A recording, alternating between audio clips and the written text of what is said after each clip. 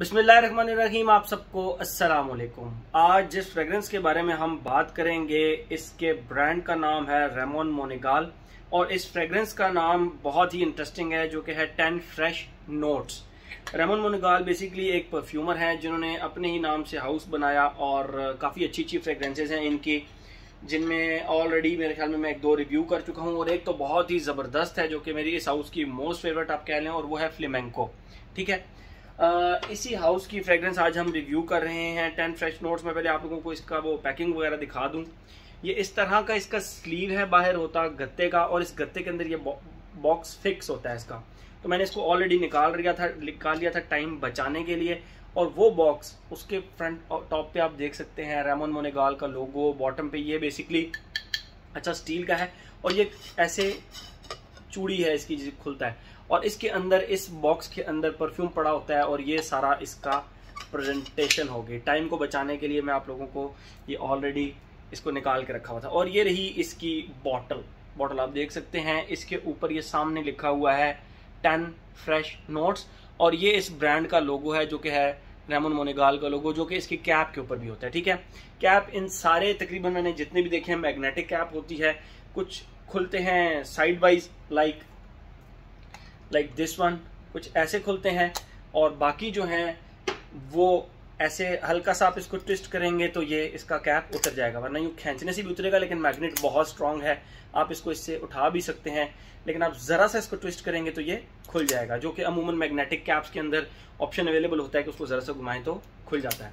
ये रही इसकी प्रेजेंटेशन और प्राइस की बात करें तो 45 टू 50 के अराउंड आपको ये मिल जाएगा। वकास अहमद के पास अवेलेबल है। इसका डी भी ट्राई कर सकते हैं आप और इसकी फुल बॉटल भी आप ट्राई कर सकते हैं। बड़ा फ़ेमस हाउस है ये रेमन मोनिकाल यहाँ पे भी पाकिस्तान के अंदर तो अब अल्लाह का शुक्र है इजीली अवेलेबल है। ओके बात करते हैं हम इसकी फ्रेग्रेंस की। जैसे कि इसके ऊपर लिखा हुआ है टेन फ्रेश नोट्स नाम भी इसका बहुत अट्रैक्टिव है और उसके साथ साथ इसका जो खुशबू है ना वो भी बिल्कुल इसके नाम को जस्टिफाई करती है। ये एक फ्रेश सिट्रसी स्पाइसी और एक in the end you can say कि एक uh, अर्दी सी एक खुशबू है। मैं पहले आप लोगों को इसकी खुशबू डिफाइन करता हूँ फिर मजीद इसके बारे में हम बात करते हैं। जैसे ही आप इसको लगाते हैं इसके स्टार्ट में आपको लिटरली ऐसे फील होता है जिस तरह ग्रीन स्पाइसी लीव्स होते हैं। ग्रीन स्पाइसी यानी लीमू के जो दरख्त के ऊपर पत्ते लगे थे वो बड़े स्पाइसी से होते हैं। कभी आप उनको खुशबू करें तो वो स्पाइसी स्पाइसी होते हैं येट ग्रीन एस्पेक्ट उनके अंदर होता है लीव्स के अंदर। तो वो ग्रीन लीव्स और उनके साथ सिट्रसिस की खुशबू। सिट्रसिस में भी अगर आप कहें प्रोमिनेंट कौन सा है तो बर्गमोट बहुत ज़्यादा प्रोमिनेंट है, जो कि उन ग्रीन लीव्स के साथ मिलकर उसको मजीद स्पाइसी बना देता है, ठीक है?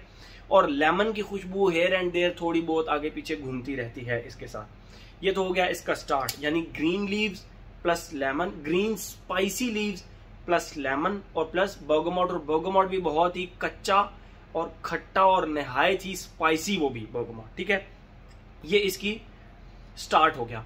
सेकेंड फ़ेज़ के अंदर इसका जो ग्रीन एस्पेक्ट है, वो थोड़ा मजीद स्ट्रांग हो जाता है और लीमू सिर्फ़ इसमें थोड़ा सा गायब हो जाता है। बर्गमोट और जो ग्रीन स्पाइसी लीव वाला एक फैक्टर होता है इसके अंदर, वो चलता रहता है।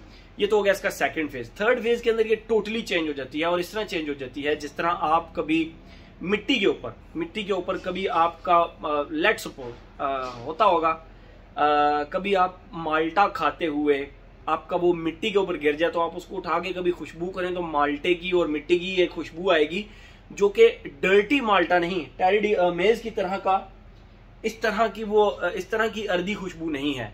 इसके अंदर जो खुशबू है वो प्योरेस्ट डस्ट डस्ट मिट्टी की खुशबू और उसके साथ हल्की फुल्की आपको इस तरह फील होगा जिस तरह ऑरेंज की खुशबू आपको आ रही है। और वो भी फ्रेश ऑरेंज की डर्टी ऑरेंज की नहीं, एक फ्रेश ऑरेंज की खुशबू आ रही है। एंड दैट्स इट ये इसका तीसरा फ़ेज़ है और जब ये तीसरे फ़ेज़ में पहुँचती है तो यहाँ पे आके आपको पता चलता है कि ये ग्रीन स्पाइसी सिट्रसी होने के साथ साथ अर्दी फ्रेग्रेंस भी है और नहायत ही ज़बरदस्त इसका ये फ़ेज़ चला। ओके ये तो होगी इसकी खुशबू। ये फ्रेग्रेंस लॉन्च हुई थी जी 2022 के अंदर। रिसेंट लॉन्च ही है।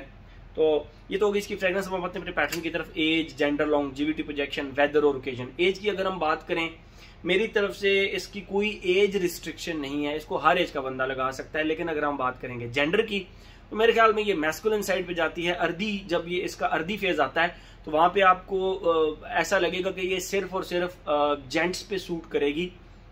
ये लेडीज़ पे इतना ज़्यादा सूट नहीं करेगी, सिर्फ़ इसके अर्दी फ़ेज़ की वजह से। अदरवाइज़ सिट्रसी फ्रेग्रेंसेज लेडीज़ भी लगाती हैं और लेडीज़ पसंद भी करती हैं, बल्कि लेडीज़ की एक फ्रेग्रेंस है, जो कि मैं आप लोगों को दिखाता हूँ, वो है ये डॉल्चन गबाना का लाइट ब्लू ओ इंटेंस ये बहुत ही ज़बरदस्त सिट्रसी फ्रेग्रेंस है, ठीक है?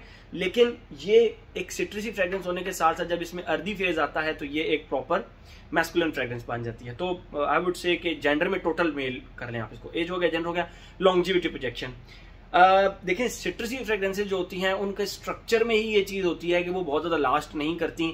मैंने जब ये फ्रेग्रेंस इस्तेमाल की तो I was expecting three two four hours only but मेरी एक्सपेक्टेशन से ज़्यादा ये सात, साढ़े सात घंटे चली, जो कि एक बहुत ही सिट्रसी अर्दी फ्रेग्रेंस के लिए एक बहुत ही अच्छा है, एक लॉन्जिविटी बहुत अच्छी है। सात, साढ़े सात घंटे चली। मैं उस दौरान इनडोर्स भी रहा आउटडोर्स भी गया। बहरहाल इनडोर्स को ज़्यादा कंसिडर करेंगे तो सात साढ़े सात घंटे इसने मुझ पर लास्टिंग दी। और अगर हम बात करें इसकी प्रोजेक्शन की तो प्रोजेक्शन ये स्टार्ट के एक से डेढ़ घंटा एक आम लेंथ तक प्रोजेक्ट करती है और उसके बाद थोड़ा आपकी बॉडी के करीब आ जाती है, लेकिन थोड़ा थोड़ा आपके करीब करीब लिंगर ऑन करती रहती है थोड़ा थोड़ा चलती रहती है, ठीक है? तो एज हो गया जेंडर हो गया लॉन्जिविटी प्रोजेक्शन हो गया वेदर और ओकेजन की बात करें तो इसका जो अर्दी फ़ेज़ है, उसकी वजह से मैं कह सकता हूँ कि आप इसको हर वेदर में लगा सकते हैं। अदरवाइज़ गर्मियों के अंदर तो ऐसी सिट्रसी फ्रेग्रेंसेज आपको बहुत ज़्यादा मज़ा करती हैं, ठीक है?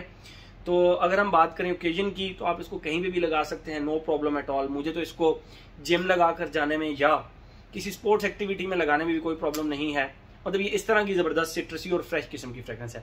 बाकी सिट्रसी स्पाइसी ग्रीन और अदी फ्रेग्रेंस जहाँ भी आप लगा कर जाना चाहें, आप इस फ्रेग्रेंस को बिल्कुल लगा सकते हैं, ठीक है? तो मेरे ख्याल में हर एस्पेक्ट इसका हमने कवर कर लिया। तो ये था जी हमारा रेमोन मोनेगाल का ten fresh notes thank you so much